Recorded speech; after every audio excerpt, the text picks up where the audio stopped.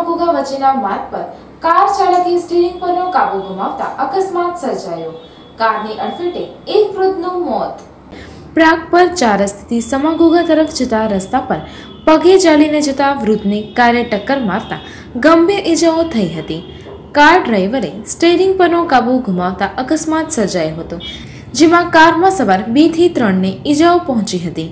Mundra police મથકે નિલેશભાઈ, ભીમજીભાઈ મહેશ્વરીએ નોંધાવેલી ફરિયાદ અનુસાર રવિવારે દોઢેક વાગ્યાના અરસામાં ગામના જ સુનિલ દેવરાજ મહેશ્વરીનો ફોન આવેલ અને જણાવેલ કે પ્રાગપર ચોકડી પાસે અકસ્માત થયેલો છે, જેમાં દાદા ગંભીર રીતે ગવાયેલા છે.